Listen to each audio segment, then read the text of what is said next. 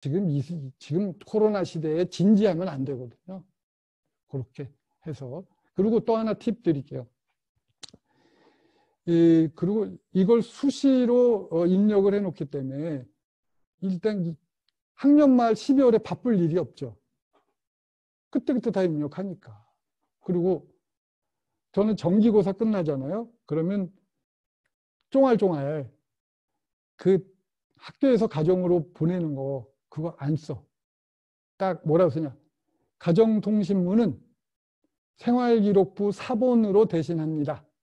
라고 해서 보내요. 생활기록부 사본으로 대신합니다. 그러면 생활기록부 사본 딱 출력해서 스테이플러 찝어서 보내주는데 이게 매력이 있는 거예요. 왜냐? 애들이 성적은 서로 비교해보는 일이 없는데 뭘 비교해? 쫑알쫑알. 생활기록부 뭐 이렇게 뭐 과, 과세특 이런 거 이런 거를 지네들끼리 서로 비교를 해보는 거예요. 그리고 평소에 잘 못했던 애들은 그때 좀 실망해요. 어, 어 그리고 그 다음에 좀 더 분발하게 되더라고요. 그래서 이 손쉽게 아이들을 네,